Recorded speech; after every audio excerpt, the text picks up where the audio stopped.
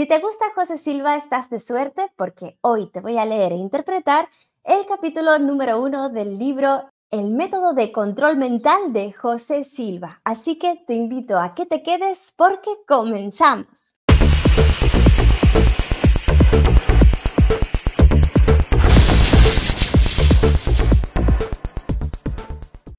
Capítulo 1. Use más su mente de formas especiales. Imagínese que establece contacto directo y eficaz con una inteligencia superior y omnipresente y que, en un momento de alborozo espiritual, descubre que la tiene de su parte. Imagínese también que ha establecido este contacto de manera tan sencilla que nunca más se volverá a sentir desamparado ni alejado de algo que siempre sospechó que existía, pero que nunca había podido alcanzar de pleno una benéfica sabiduría, un destello de discernimiento siempre que lo necesite, la sensación de una presencia bondadosa y poderosa. ¿Cómo se sentiría? Sería una experiencia culminante no muy diferente, o puede que nada diferente, del sobrecogimiento espiritual. Esto es lo que se siente tras una instrucción de cuatro días en el control mental Silva. Hasta el momento, lo saben más de un millón de personas que han pasado por ello. Y cuando se familiarizan con los métodos que provocan esta sensación, se acostumbran al uso moderado y seguro de nuevos poderes y nueva energía. Y viven una vida más plena, más sana, más libre de problemas. A continuación, José Silva explicará algunos de estos métodos para que usted mismo pueda empezar a valerse de ellos. Primero vamos a imaginar que asistimos al inicio de una clase de control mental y observamos qué es lo que pasa.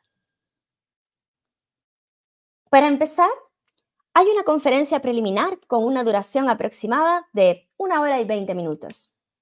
El ponente define el control mental y da un bosquejo de las dos décadas de investigaciones que llevaron a su desarrollo Luego, hace una breve descripción de cómo los alumnos serán capaces de aplicar lo que aprendan para mejorar la salud, resolver problemas cotidianos, aprender con mayor facilidad e intensidad la conciencia espiritual. Luego, hace una breve descripción de cómo los alumnos serán capaces de aplicar lo que aprendan para mejorar la salud, resolver problemas cotidianos, aprender con mayor facilidad e intensificar la conciencia espiritual. Acto seguido, se concede un descanso de 20 minutos. Los alumnos se familiarizan los unos con los otros mientras se toman un café. Proceden de ambientes muy variopintos, médicos, secretarias, profesores, taxistas, amas de casa, estudiantes de secundaria y de universidad, psiquiatras, líderes religiosos, jubilados. Esta sería una mezcla típica. Después del descanso, hay otra sesión de una hora y 20 minutos, que se inicia con una ronda de preguntas y respuestas y termina con el primer ejercicio de entrenamiento, que conduce a un nivel meditativo de la mente. El conferenciante explica que este es un estado de profunda relajación, más profunda que el mismo sueño, solo que acompañada por una clase especial de conciencia. De hecho, se trata de un estado alterado de conciencia que se practica en casi todas las disciplinas de meditación y en la oración profunda. No se emplean drogas ni máquinas de retroalimentación biológica. Los ponentes de control mental hablan de la entrada en este estado como entrar en nivel o, en ocasiones, entrar en alfa. Con un ejercicio de 30 minutos de duración, llevan al alumno a dicho nivel con delicadeza, proporcionándole instrucciones en un lenguaje sencillo. De hecho, todo en control mental se expresa con un lenguaje sencillo, no hay jerga científica ni palabras del lejano oriente.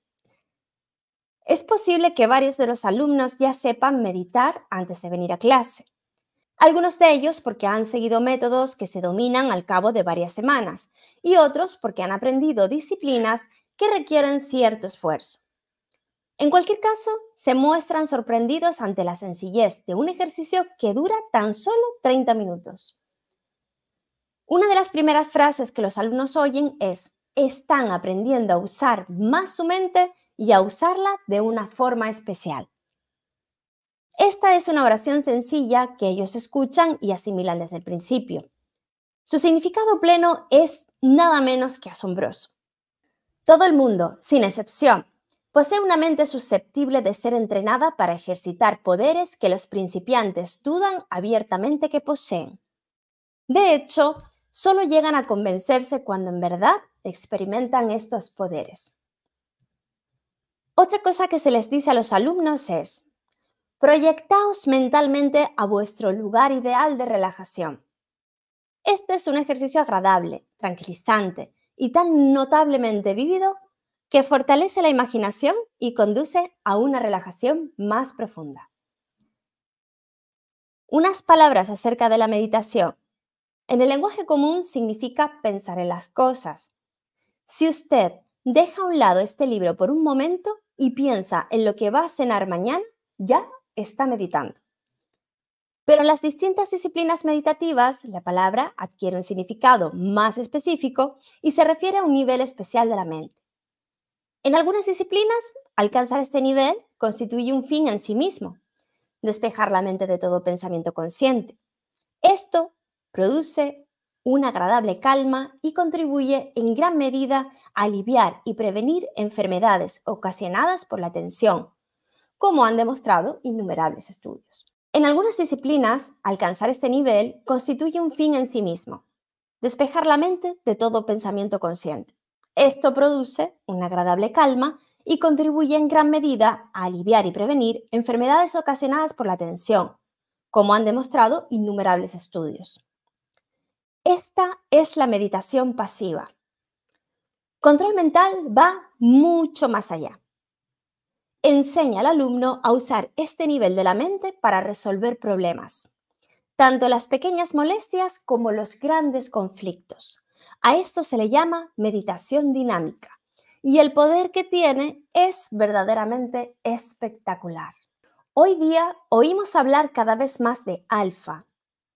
Es uno de los patrones que siguen las ondas cerebrales, una especie de energía eléctrica producida por el cerebro, y se puede medir con un electroencefalograma. Los ritmos de esta energía se miden en ciclos por segundos. Por lo general, a partir de aproximadamente 14 ciclos por segundo, se habla de ondas beta, entre 7 y 14 de alfa, entre 4 y 7 de teta y menos de 4 son delta.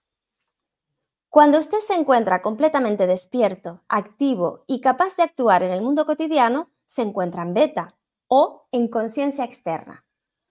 Para usar la terminología de control mental, cuando sueña despierto o está a punto de quedarse dormido, se encuentra en alfa. Los graduados de control mental llaman a ese estado de conciencia interna. Y cuando está dormido, se encuentra en alfa, teta o delta, no solamente en alfa, como muchos creen.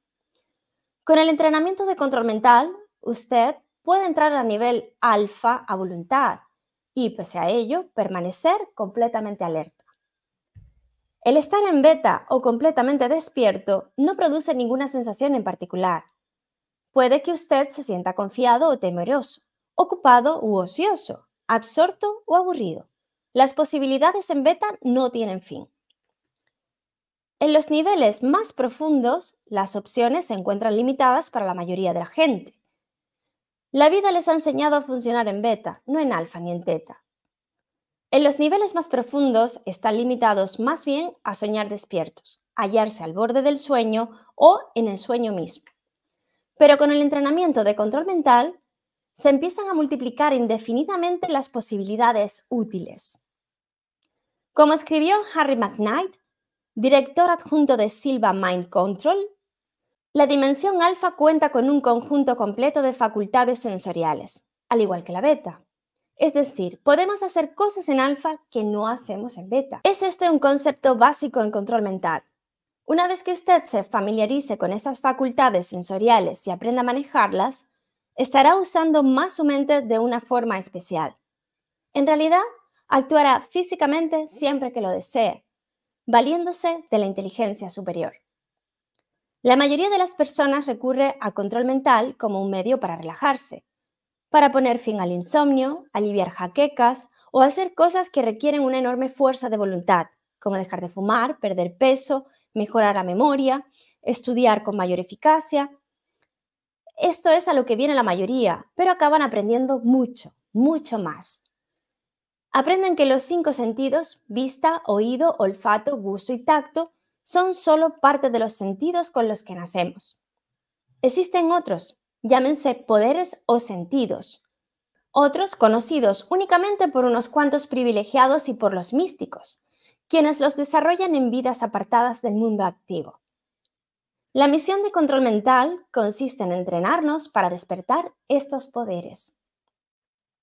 Nadine Bertin, directora de la sección de belleza de la revista Mademoiselle, expresó de forma más adecuada lo que este despertar puede significar ya en el número de marzo de 1972. Puede que la cultura de las drogas tenga sus pastillas, polvos e inyecciones psicodélicos. Yo tengo mi propia técnica. Control mental expande la mente, enseña a expandirla. El nombre es acertado porque a diferencia de las drogas o la hipnosis, usted es dueño del control. La expansión mental, el conocimiento de sí mismo y la ayuda que proporcione a los demás a través de control mental están únicamente supeditados a las limitaciones que usted mismo se imponga. Cualquier cosa, en mayúsculas, es posible. Oímos que eso le sucede a otros y de pronto vemos que nos está sucediendo a nosotros.